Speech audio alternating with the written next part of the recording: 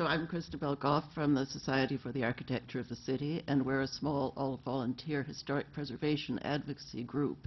And our main mission is providing research on landmarks issues, so we are constant users of both branch and central research library.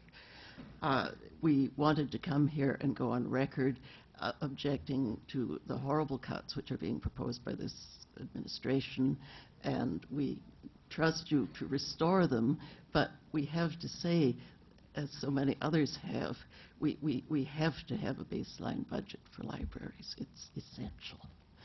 Uh, earlier, Mr. Marx uh, spoke of branch libraries as being embedded in their neighborhoods, and although I disagree with some of the policies he's advocating, I think he really had a point there.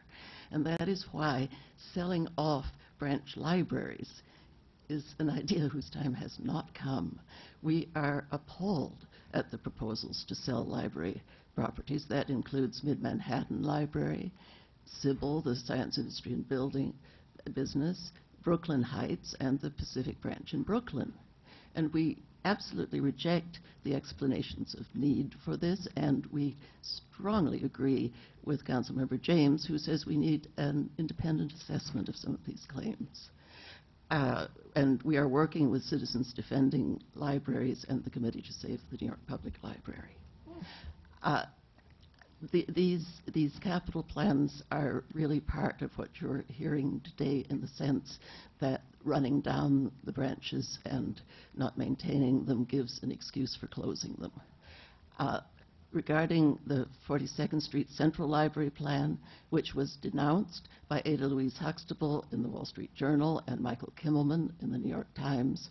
In our letter to the Times, published last February 7th, we wrote, It is unbelievable that the people of New York City not only seem to have no power to prevent the partial demolition of our great library, but are also actually being forced to pay half the cost of its destruction, since 150 million of city funds has been allotted to a project so correctly described by Michael Kimmelman as trashing a landmark.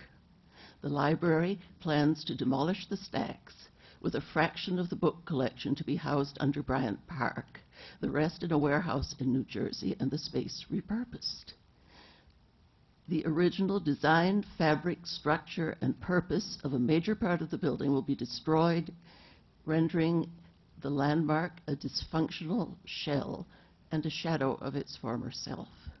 So please help us.